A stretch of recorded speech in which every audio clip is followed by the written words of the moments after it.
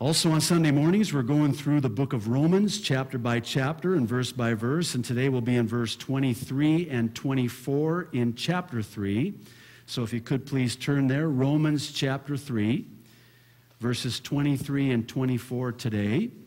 Uh, actually, for the sake of context, I'll begin back in verse 21 and read through to verse 24. Once you find your way there, if you're able, if not, that's okay. I'll have you stand so you can follow along with me as I read the text. The Apostle Paul is writing by the Holy Spirit, and back in verse 21 says, But now a righteousness from God, apart from the law, has been made known, to which the law and the prophets testify. This righteousness from God comes through faith in Jesus Christ to all who believe. There's no difference. Verse 23 For all have sinned and fall short of the glory of God and are justified freely by his grace through the redemption that came by Christ Jesus. Let's pray, ask God's blessing on our study of his word. Father, focus our attention. Enable us by the Holy Spirit to understand that which we have set before us in your word this morning. Lord, we need for the Holy Spirit to build this into our lives, to give us understanding for our lives. Lord, we humbly admit that if we try in and of ourselves, we will fail and we labor in vain. So, Lord, you need to teach us and minister to us. We give you permission. So, Lord, speak. Your servants are listening. In Jesus' name, amen. Amen. You may be seated. Thank you.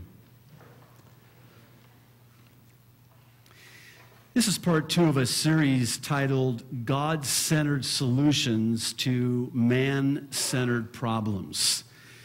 The Apostle Paul has been rising from the pages of this chapter, and he's been teaching to us how that it's not all about us. I know that's sort of elementary, but I like how one commentator said it. The big danger in preaching this passage is that we treat it as if it were about us when it's about God. It is not centrally about me.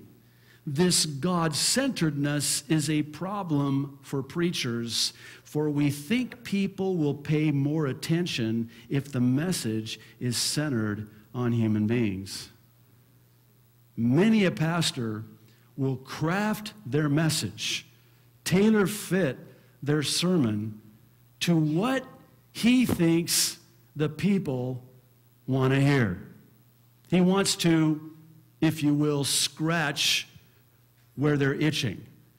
And you see it manifested with topical teaching titles like The Top 10 Reasons, as if to adopt from David Letterman his list of 10. We talked about this on Thursday night.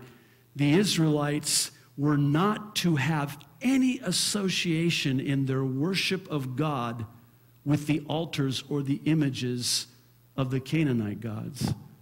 In other words, Pastor, me, I don't need to borrow from the world to tailor fit the sermon and center it around you. It's not about you. It is about God. And this is what the Apostle Paul is doing. In a sense, he's reshifting their focus. He's reshifting our focus away from this man centeredness to a God centeredness. And actually, that's the problem. Man centered problems are problems because they're man centered. And that's why there's no solutions to the problems because we're looking for man centered solutions for our man centered problems. And the problem is that's the problem. I'll try to say that in a way that's maybe a little bit easier to get your mind around. If we're wondering why it is that there's such peril in the church today, perhaps we need look no further than to what's preached in the church today. There's no victory in our life, and there's no solutions to the problems of our life when all we ever hear are how to sermons on success for our life. I, I was thinking about this prior to teaching on this, and even, you know, reflected on some of the titles I've chosen for our expositional teaching on Sunday mornings. And really, Thursday nights don't have titles, but still, it's an expositional teaching. And I'm always careful and prayerful about titling the teaching something like Seven Keys. You know, seven promises, seven habits, ten this, eight that. Listen, the problem is I can't keep 10 commandments. What in the world? And even three points sometimes. You know, and bless your hearts, you poor people. Bless, you have treasures in heaven, you know. I, I hope you know that. Sitting through my long sermons and I watch you furiously and hopelessly taking notes, you know. Okay, point one, I got to do this, I got to do that, I got to do this. No, don't do that. The problems get even worse when, not if, we fail after trying to keep the seven promises or develop the seven habits of highly effective people. Nothing inherently wrong with those things. What's wrong with those things is when we say, if I do those things, then God will do this. It's formula Christianity. It's insert tab A into slot B Christianity. And we think in our humanity that if I do A, B, C, then God will do D, E, F. I don't think that I have to tell you, I'm sure you can recall in your own Christian experience how many times God has done something that has just totally and absolutely blown your mind. You know, here we're expecting God to come in through this door. We've been praying, laboring in prayer. Oh, God, you know. And God says, You know what? I'm God. You're not. I don't want to come in through that door. I'd like to come in through the window. Would that be all right with you? Because my ways are not your ways. See, we think that we think how God thinks. You think? your thoughts are not his thoughts. Isaiah reminds us of that. And besides that, if you think that you think how God thinks, then God's not God.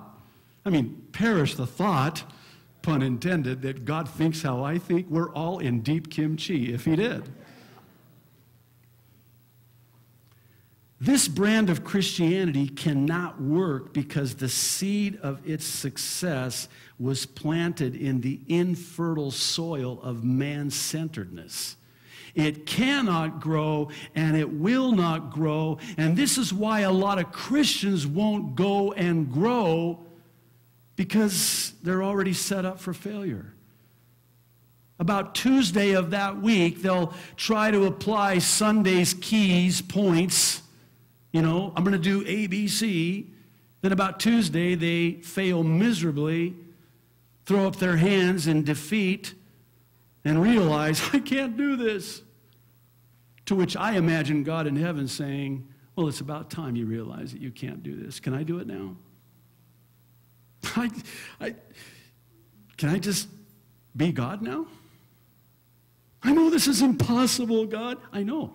Now that it's impossible for you, it's possible for me. But see, when it was still possible for you, it was impossible for me.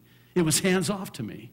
You did not give me permission to be God in your life because you were trying to figure it out, work it out in the energy of your own strength. That's man centered Christianity. And it is a recipe for failure in our Christian experience. You'll never make it. And this is really why I believe it is that so many Christians live such defeated lives. And this is the reason the beloved apostle writes this in this his epistle this way. It's not chiefly about me and my salvation, it's about God and his justification. See, the problem of our salvation comes vis a vis the solution of God's justification. Absent this, the divine dilemma of man's sin has no solution. And as long as I insist and persist in trying to solve my problems my way, there's no way.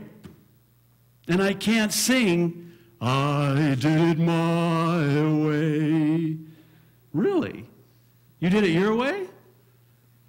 And so I'll boast about it and I'll take all the glory for it, and we'll see that at the conclusion of chapter 3, where this is all going, where Paul's taken this. Now, we saw the first way in part 1, where in verse 21, Paul unveils the how of the God centered solution to the what of the man centered problem. It comes from God apart from the law. In verse 21, Paul says that now a righteousness from God apart from the law, testified to by both the prophets and the law, has now been made known. We have the righteousness revealed, whereas heretofore we had had the wrath of God revealed. See, if it were under the law and not apart from the law, then there can be no salvation because according to the law, I receive only condemnation. That's why when we get to chapter one, 8, verse 1, Paul will say, There is therefore now no condemnation to those that are in Christ Jesus. Not because of the law, but apart from the law. And it comes not from me, from God. It's not about me, it's about Him. See, we have taken even our salvation and made it about us. I'm saved. And we've taken it to the degree in which we can say in our hearts, I'm more saved than you. Second one comes through faith to those who believe. He says, verse 22, that this righteousness from God comes through faith in Jesus Christ to all who believe. It's not through self righteousness, it's Christ's righteousness. If it were, then instead of a righteousness from God through faith apart from the law, I could, in my self righteousness apart from God, keep the law or try to, under the law, earn that righteousness, that right standing with God. Now, this is all going to fit ever so beautifully with our third one we see in verses 23 and 24. God centered solutions to man centered problems come by grace, for all have sinned. In verse 23, Paul says that, and we use this verse when we're evangelizing, don't we? We all have it memorized. All have sinned and fall short of the glory of God. And he says this is why there's no difference between the Jews and the Gentiles. The Jews are no better than the Gentiles. And then in verse 24, he explains how it is that we're all justified freely by his grace through the redemption that only came by Christ Jesus. Now, I'm keenly aware that what I'm about to say will be deemed a firm grasp of the obvious, but here it is. All our problems are because all are sinners. Let me say it again. All our problems are because we're all sinners. That's the problem. We've all sinned. Why do I have problems in the marriage? It's because there are sinners in the marriage. You want a problem free marriage? You need a people free marriage. Think about that. I was uh, sharing with a brother a couple weeks ago after second service, and you know, he's a, a, businessman and has a practice here in the community. And we were talking about business, you know, because I still, at heart, am a businessman. I've owned and operated businesses, and, And we were just talking about, you know, I was like, hey, how's the economy affecting the business? How you doing? You know, how's business? And, and he said, you know, I just, he started, you know, kind of lamenting a little bit. That, that's a spiritual way to say complaining, and it's okay if you're lamenting. Complaining's not, God, you know, smote the Israelites when they complained, but lamenting's different. It's sanctified. So we're lamenting. And it was kind of interesting because, you know, the problems just internally, the communication problems, and I was just kind of joking with him, saying to him that if you want a problem free business, you need a people free business. You want a problem free church? A people free church. That's the answer. Why? Because all are sinners. This is what I love about when I do weddings, and I always have the pre marriage you know, uh, mentoring and you know, Bible studies. I take the you know, precious young couple through, and if they can make it through. Some don't survive, but anyway, if they, you know, survive, then, you know, of course, I perform their wedding ceremony, and I always want to communicate to them how important it is that they never look at their marriage through these rose-colored glasses of perfection. Because I'm telling you, man, after that wedding comes the marriage. And when, when you wake up the next morning, you look over at that guy or that gal, you're going to realize they are a sinner. There's no such thing as a perfect marriage. You cannot have a perfect marriage because there are sinners in that marriage. I think about parenting. I look at my children. I look at my four year old daughter, as adorable as she is. And the problem is, she's a sinner. She doesn't look like one, but she is, trust me. now, the problem in man centered Christianity is that I'll see it as a man centered problem, a marriage problem. I'm having financial problems. I'm having marriage problems. I'm having problems in my parenting with my children. And you fill in the blank.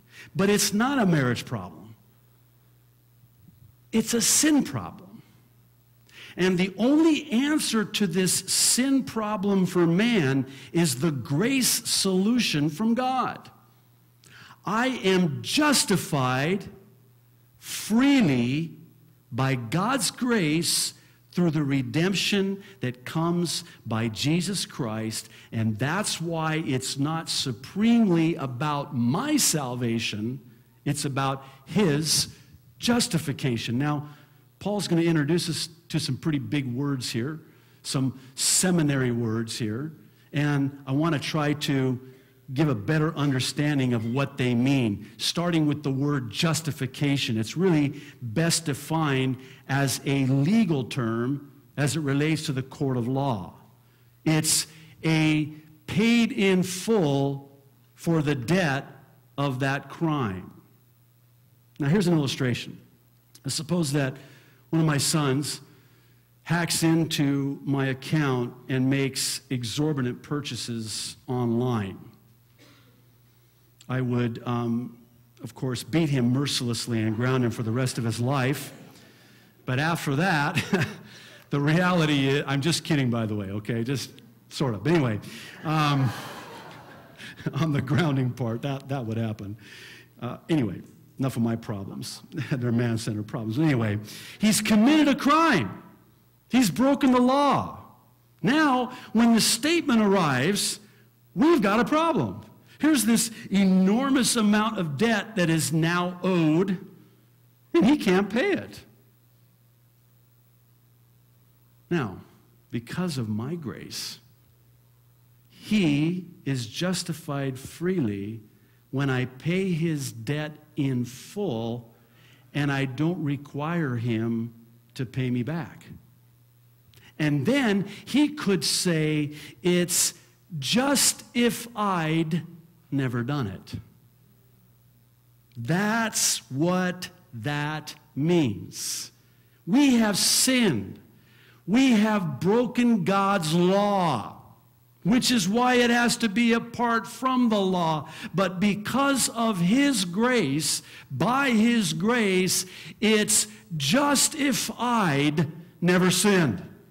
It's just if, as if He never did it. He's justified. Now it gets better.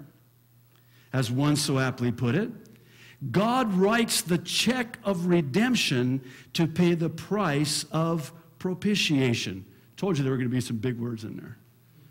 Now, that's why there's justification for my salvation.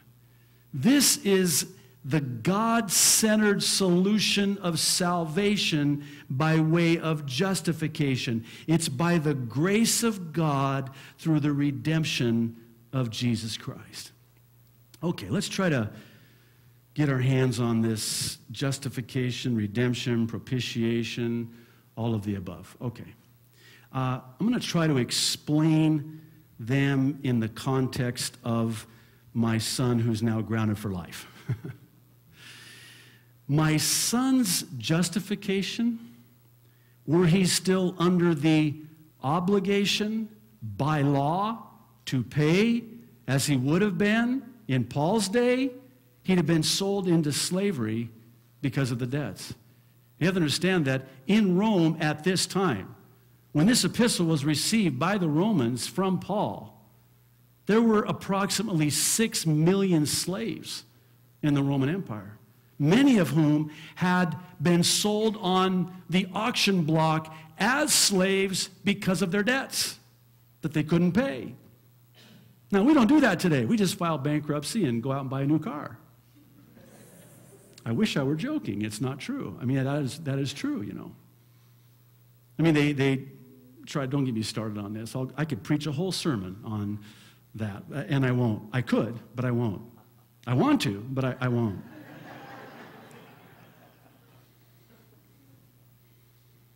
So in this case, I redeem him.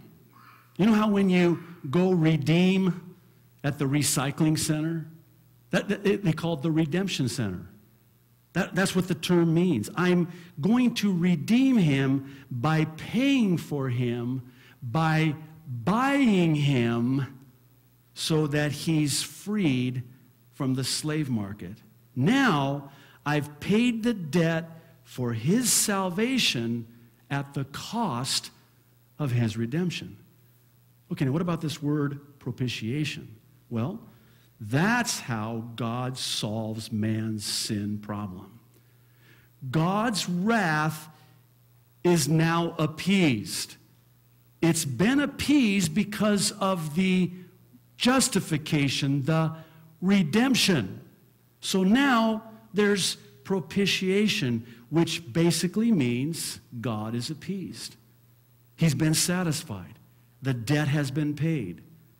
His wrath has been appeased. Redemption has been accomplished.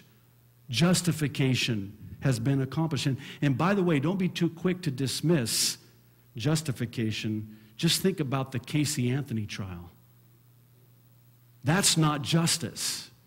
Because still, there's a little girl that was murdered, and nobody has been, uh, you know, the one who's been acknowledged as, as committing the crime. It's an unsolved crime. And even if there was no jury and the judge just said, you know what, I'm just going to, you know, let you go. That's not justice. And that's not justification. There's no justification. There's no redemption. There's none of that. I'm not going to get into all of that because, my goodness, for the last how many months, uh, that was just in front of our face as, as grievous as it was. See, the judge's wrath has been appeased. That's propitiation. By virtue of how the debt that was owed has been paid for in full by another. God's wrath was satisfied by Christ's sacrifice of atonement. That's the propitiation, the substitute, you see. And we'll see this with our fifth God centered solution in the next verse next week, Lord willing. I want to close with a question. And I ask it of myself too. Since God did all of this for our salvation eternally, will he not also take care of us in this world temporally? I don't know what problems you brought with you to church today. And please don't misunderstand my heart. I in no way want to, you know, make light of the seriousness of the trials that you face in your life. But I want to encourage you that if our God would do this for our justification, keeping the law intact apart from the law, remaining just, remaining loving, both at the same time, if God is going to provide a way for my redemption, free me from the slavery of sin, and give to me the free gift of eternal life, and I'm trusting Him when that trumpet does sound to take me out of here, and in the twinkling of an eye, the dead in Christ will rise first, and we who are alive and remain will be caught up, raptured up to meet the Lord and be with Him in the air, and we'll see all of those loved ones that died in Christ prior. I'm going to see my daughter. I'm going to see my mommy. I'm going to see my dad, I hope, who, by the way, on this day, August 14th of 1994, suffered a massive heart attack and died. I thought about that this morning. I'm trusting God for all of that. And I can't trust Him to take care of the problems I'm having in this life, problems paying the bills. I, I can trust Him to transform in a metamorphosis this body and give me a new body. I can't wait. Thank you, Jesus. In the twinkling of an eye. And I can't trust him for this month's rent. The car broke, breaks down and the bill is two, three hundred dollars, and it's two, three hundred dollars I don't have. It might as well be two or three thousand dollars. Is, isn't God gonna take care of me? Hey, He's got a lot invested in you. Remember, you're bought with a price. He paid for you, He bought you. Listen, as a former car dealer, I say that uh, affectionately, don't stone me to death yet. I would buy cars at the auction. And that was how I invested in my inventory that I would then sell for a profit. And when I bought the inventory, I would take care of that inventory and I would make sure that nobody would ding the doors because that's my investment. So I'd park it like this, you know, in the parking lot and at an angle, and, and then they would key it, key the side, and. And then I was free because then I didn't have to worry anymore because now it's, anyway, again, enough of my problems. But isn't God going to take care of that?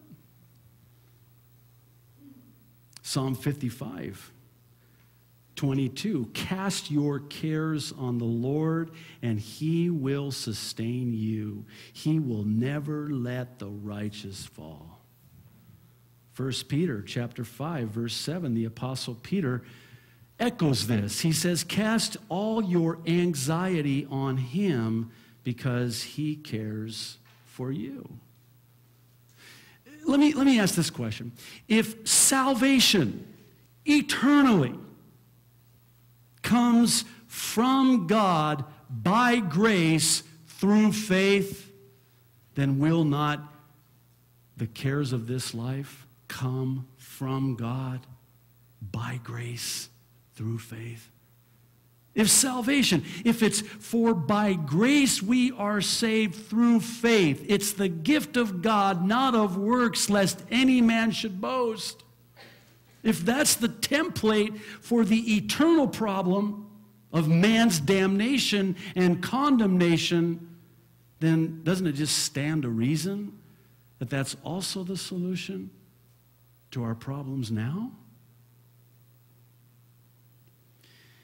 In Matthew chapter 6, and we'll close with this, Jesus, this is one of my, in fact, this passage, I'll just, I'll just be candid with you. This Sermon on the Mount, or as I like to call it, the Sermon on the Amount, uh, has for me been perhaps one of the most profound, life changing truths in all of my life. Really, it begins in verse 19. I want to encourage you. I think I mentioned this last week for all of you who are worriers, chronic worriers, you're worryaholics. You really need to let Matthew 6 19 through 34 minister to your life. Jesus says, and beginning in verse 26, look at the birds of the air. They do not sow or reap or store away in barns, and yet your heavenly Father feeds them. Are you not much more valuable than they? Who of you, by worrying, can add a single hour to his life? And why do you worry about clothes? See how the lilies of the field grow? They don't labor or spin. Yet I tell you that not even Solomon in all his splendor was dressed like one of these. If that is how God clothes the grass of the field, which is here today and tomorrow is thrown into the fire, will he not much more clothe you? Oh, you of little faith. And by the way, I never imagine when Jesus says, Oh, you of little faith, I never imagine him being angry, like, Oh, you of little faith. you know, no way. It was more of a, I believe, because it's the heart of God. Oh, you, why did you doubt? Your faith is so little.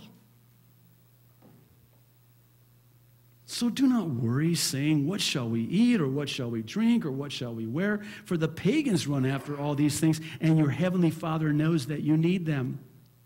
But seek first his kingdom and his righteousness, and all these things will be given to you as well. Therefore, do not worry about tomorrow, for tomorrow will worry about itself. Each day has enough trouble of its own. Now, listen. Jesus is saying, Do you realize how valuable you are in the eyes of God? Do you know the value that your Father in heaven has placed on you? You are an invaluable investment. You are so valuable that it cost him his own life to redeem you, his shed blood to pay in full for you. That's how much he loves you. So give your cares to him. Give your worries to Him. Take those cares and turn them into prayers and let God be God in your life. And I can promise you, on the authority of God's word, that if you'll do that and give Him permission to be that, those problems that you brought to church with you today, with almost a stroke of the pen, God can take care of it like that. Sometimes I wonder if he's not just waiting for us to come to him. So why won't you come to me? It comes from me. Why, why don't you come to me? You think the solution to this problem comes from you, yourself? It comes from me. And it doesn't come by striving, it comes by grace. That unmerited favor. I'm going to give you what you don't deserve apart from the law, because what you do deserve under the law is condemnation and damnation. But I've taken care of that. I've paid for that. I've justified that. I've redeemed that. So stop that. Let me be God. You know, in my life, I've been walking with the Lord for I can't even do the math in my head right now. 82, whatever you want to do, do the math, 80, 1982 to 2011. Um, I was five, so I'm not that old, but uh, anyway, that's when I came to Christ. And here's the thing I'm learning, and I have the scars to prove it that there have been times in my life where I needlessly suffered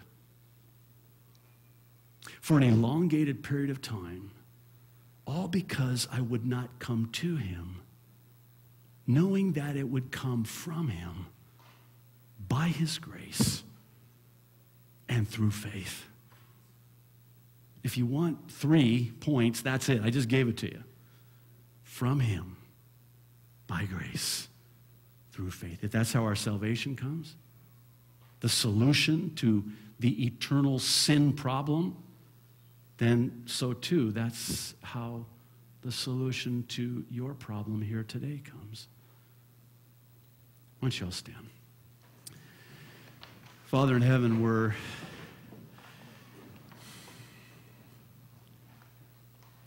maybe a little bit disenfranchised right about now just because I believe your Holy Spirit has really spoken today. That the clarion call is to come back to you, to trust in you, even to recommit to you. Lord, will you forgive us for making it all about us? Will you forgive us for centering everything on us? Lord, will you enable us and empower us by the Holy Spirit to reshift that upon you, casting upon you all of our cares, knowing that you care for us, that you have so much invested in us because of your love for us. Lord, forgive us. Lord, thank you. We love you. In Jesus' name, amen.